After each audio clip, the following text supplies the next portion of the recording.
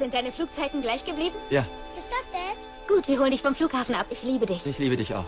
Wow, gut gehalten!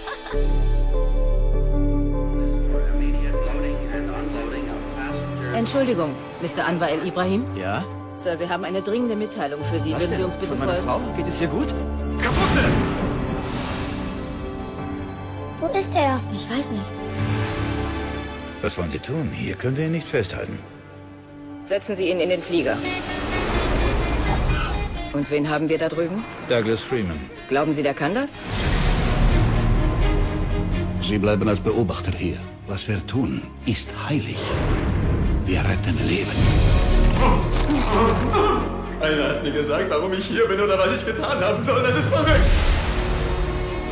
Mein Kollege von der Einwanderung versichert mir, dass Anwar nie in die Vereinigten Staaten eingereist ist. Er hat auf dem Flug 70 Dollar ausgegeben. Er saß in dieser Maschine, Alan. Seit einem Jahr verfolgt der Geheimdienst die Anrufe Ihres Freundes El Ibrahim. Die CIA nennt es Übergabe.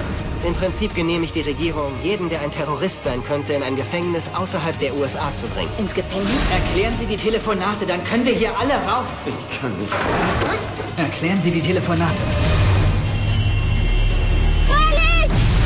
Was ist, wenn die Presse Wind davon bekommt? Treu sorgender Familienvater, einfach so nach weiß Gott wohin verfrachtet.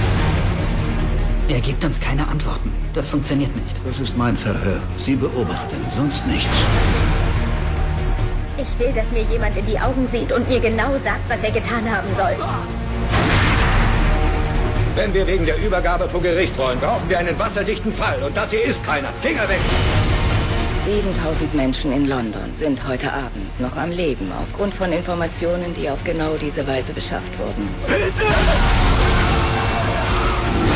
Bitte lassen Sie mich hier nicht einfach stehen. Sie haben meinen Mann. Sagen Sie mir doch nur, dass es ihm gut geht.